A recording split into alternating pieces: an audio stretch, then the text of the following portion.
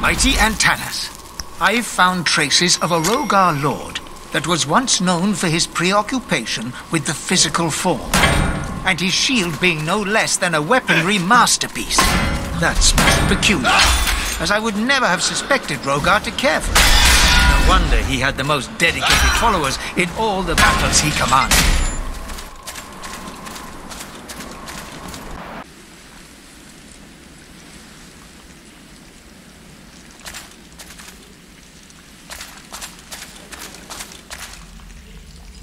This is my sixth night on watch.